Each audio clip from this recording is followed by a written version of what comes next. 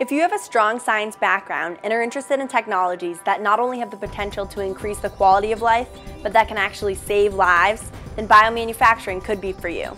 We're headed to Great Bay Community College for a look at their biomanufacturing and internship programs.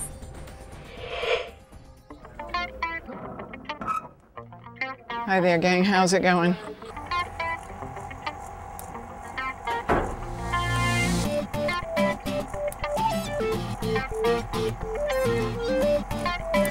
This is a biomanufacturing class. Biotechnology, though, is maturing all over the nation and the globe, and it's maturing into production, and it's also where all the jobs are, technician jobs. It's a very interesting uh, area.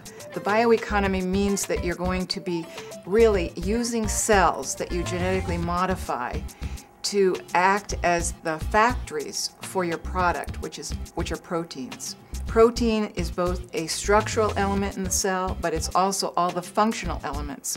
So anything that the cell does is really dependent on proteins, and therefore they are the products of the industry. And that's what our students learn to do. They learn to do the jobs that are found in a biomanufacturing facility, but particularly in production and quality control. In this lab here, we, we basically um, produce proteins um, that can then be used by pharmaceutical companies to, uh, to produce drugs. This program at Great Bay Community College really affords a student a peek at a career path and I feel really excited about the fact that we're able to send a student off to an apprenticeship. I had the opportunity to become an apprentice, which is a paid internship at a real biopharmaceutical company in the area. I worked for Lonza Biologics as an employee, three months, in upstream manufacturing. You get paid for it, you get hands-on training.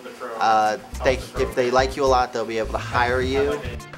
The apprentices are able to go into the industry early on in their education and uh, spend the whole summer at a job in biomanufacturing.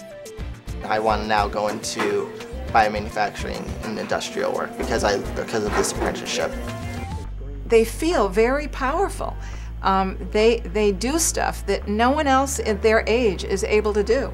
And it makes them feel really just like a sports hero. They're appreciated for their knowledge when they're so young.